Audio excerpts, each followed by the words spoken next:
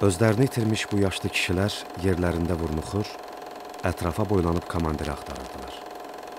Təəccüblüdür.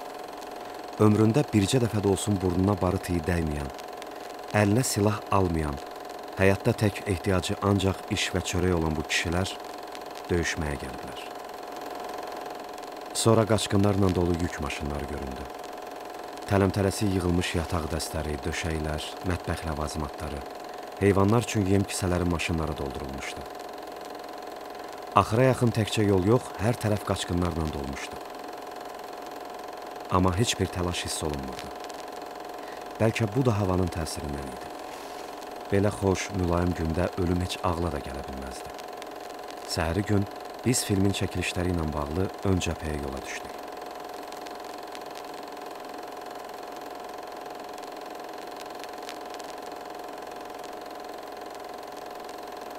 Sonra çəkilən kadrlar bir-birini əvəz elədikcə fonda musiqi, səs, sənin yazıb səsləndirdiyin kadr arxası mətn eşidilir.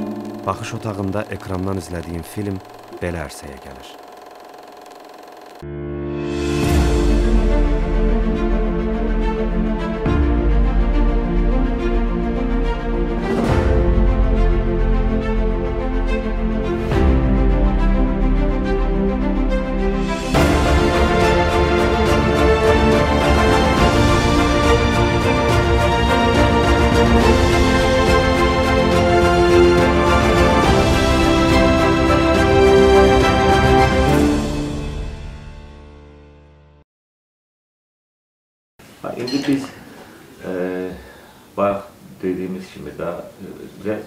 Qeyri-rəsmi olsa tam səmimi danışıb bütün xatirələrimizi nə yaddaşımızda nə qalırsa o qəhrəmanla bağlı olan hamısını yada salıb bizə danışarsınız. Buyurun.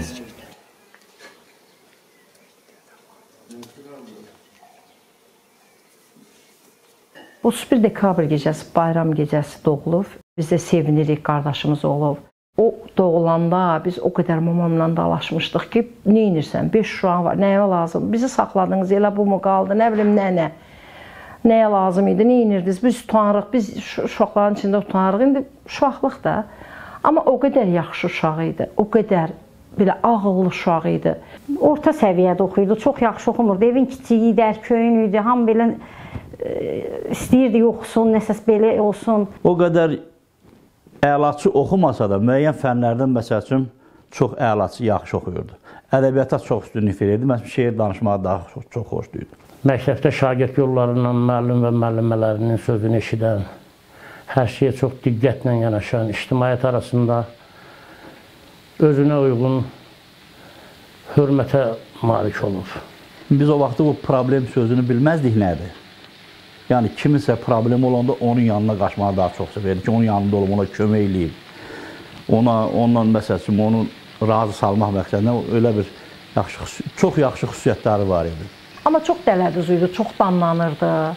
E, uşaq vaxtından belə 5-də 6-da oxuyanda o siqaret çəkirdi. O vaxt kənd idi də heyvan saxlayırdılar. Qoyun dalından get, quzu dalından get, hər işimizə yarayardı. Hər işimizə. Evin hərdən zarafat edirdik, deyirdik ki, çox o qədər onu buyururduq ki, hər şeyə. Deyirdi ki, elə evin kiçik olmaqdansa donuzun böyük olmaq yaxşıdır. Bizə belə deyirdi. Kəndimizdə bir qadın var idi, ər rəhmətə getmişdi. O xeyli vaxtda mən kartol əkmişdim. Onu əkib becərməyə imkanı yox idi. Axşam getmişik evdən xəbərsiz. Gedib bu işi sabaha kimi görüb qutarıb gəlmiş. Yəni o adam da bilməyib onu kim eləyib. Ya bizim evdən də heç kim bilmir ki, onu biz, el biz eləmişik, eləmişik. Bax, belə işlərimiz də olurdu. O da hamısı layiqli təşəbbüsü idi. Yəni, mənim payıma qalsa mən yeri eləsi deyil.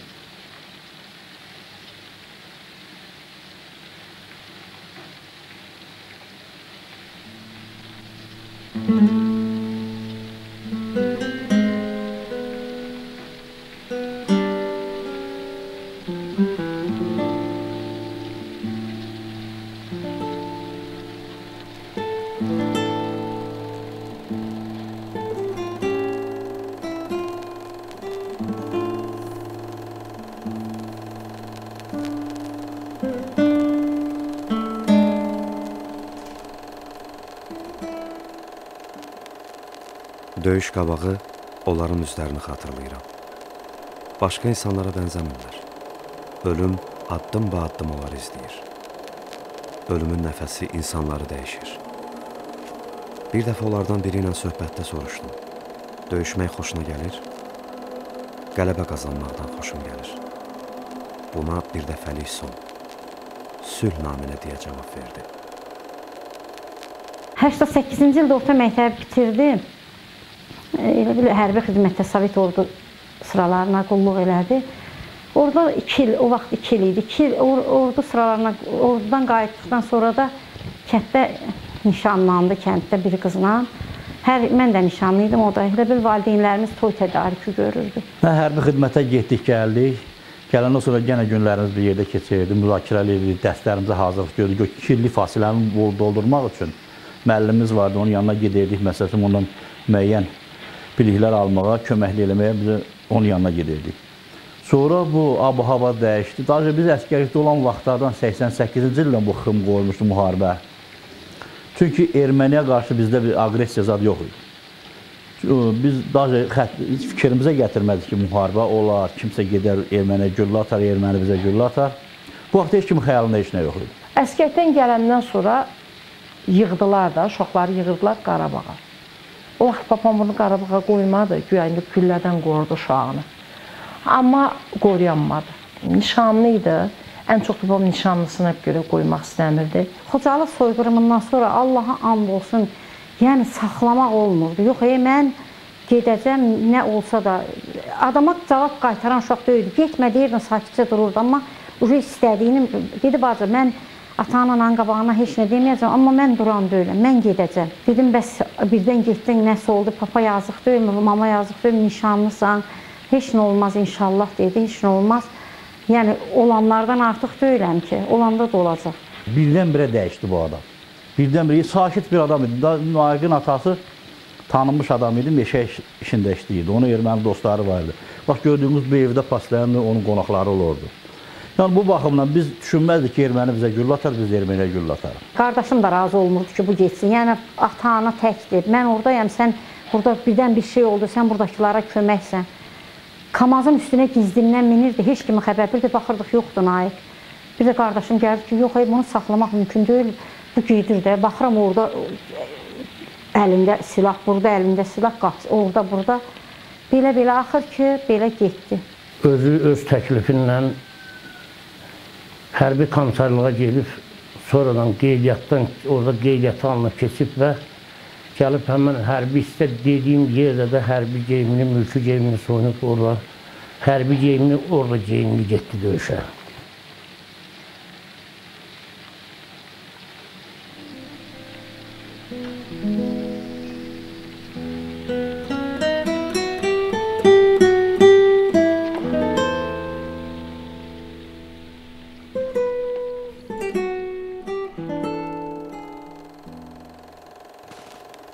Yadımdadır. Biz sıx meşəlikdə mamır basmış ağacların arasındakı cığırla hərəkət eləyirdik. Mərmilər fasiləsiz atılırdı. Biri havanı yarıb keçən səsi ilə gəlib bizdən hardasa 20 metr aralıda ağaca dəydi. Ağacın şirəsi qəlpə qarışıq ətrafa sıçradı. –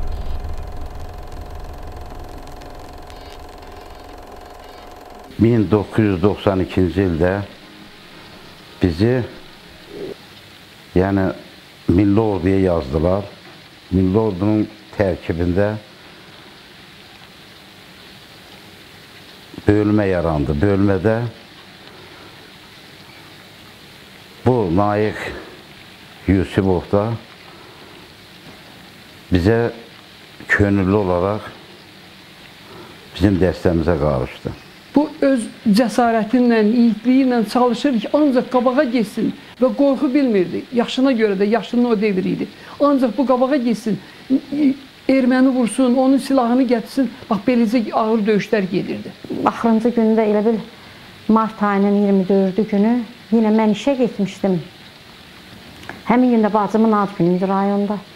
Gəlib səhər-səhər bacım gilə deyib ki, gələcəm axşam ad gününə, ştaba dəyib kəndə gedirəm. Kənddə e, qonşu kənddə elə bir atışma başladı. O bütün nə qədər bu ərazidə gedən e, əməliyyatların hamısında yəni Naiq rəhmətli iştirak edir.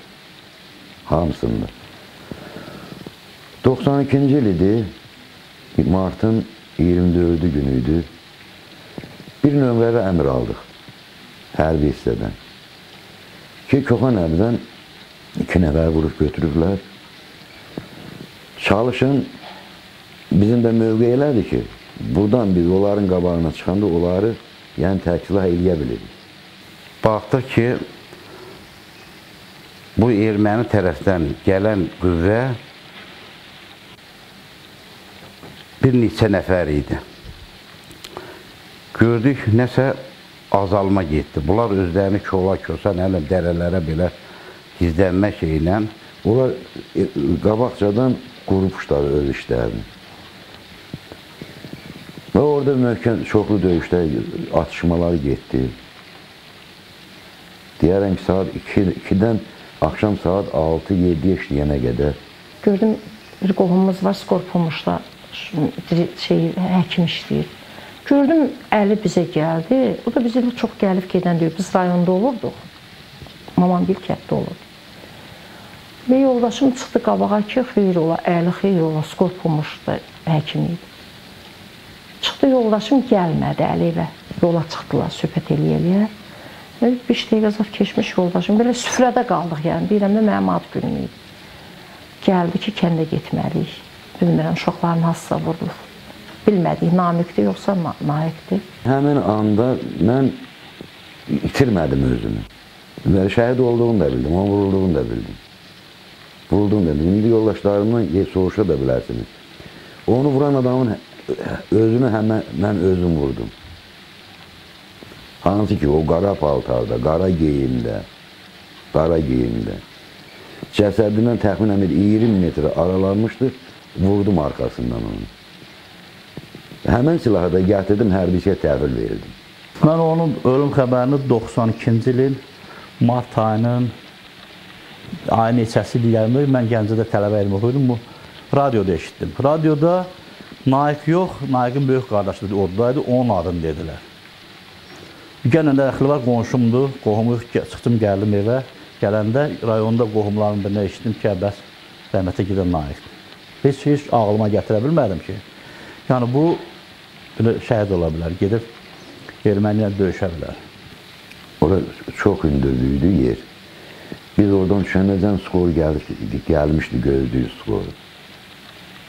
Harca bir saat yarıma biz onu güclə indirdik. Yol yoxdur. O kolların arasından, daşla, təpə ilə. Bax, elə bir yerdən. Oradan skoya qoyuq gətirdi yerə, ondan da tutardı həyat. Naiq sırf o dövrün Sovet gənci idi. Sovet, oktyabratı, ətli, əlası oktyabrat, pioner, komsomol belə olubdu.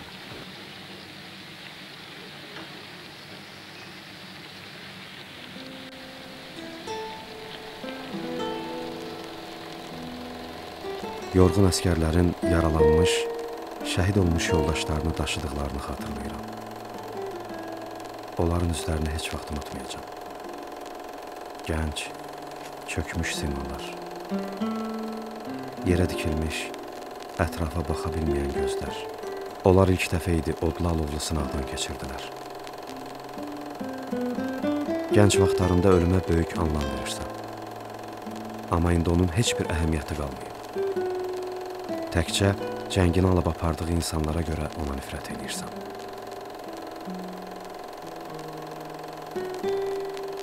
Rəhmətlik Məmmədalı bəy özünün müdafiə könüllü dəstə yaratdı. Onun ətrafına toplanmış kəndimizin qoçaq ərənlərinin sayəsində köməyi ilə bir qarışda olsun bizə aid olan ərazilərdən bir qarışda belə torpaq verilmədi.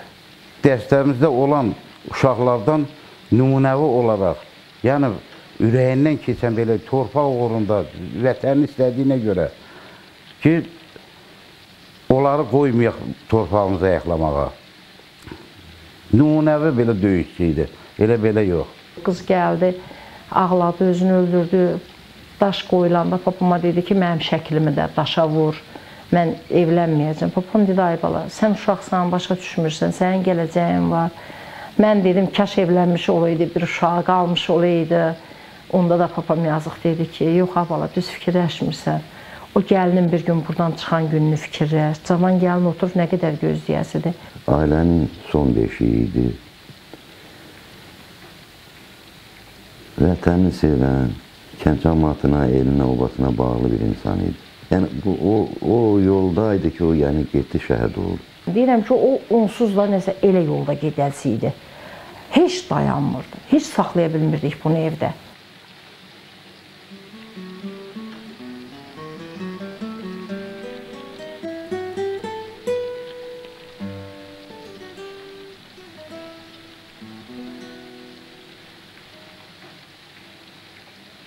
O birisi qardaşım da var da Natiq. Onda düz də Sumqayıtda olurdu. Qonaq kimi gəlirdi.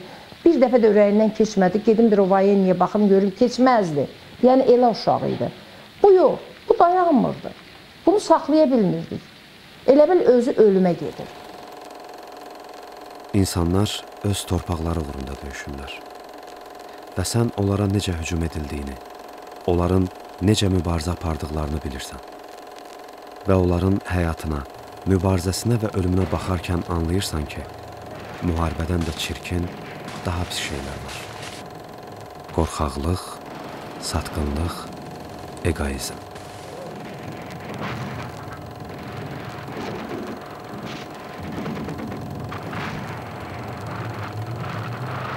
Çəkilişlər bitdi. Çıxdım həyətə hava almağa. Güclü yağışdan sonra günəşin zəif şüaları ağır qara buludların arasından özlərinə yol açırdı. Lakin soyuq dünya bu zərif şüaları aram-aram öz canına çəkirdi. Ətrafı soyuq sükut bürümüşdü.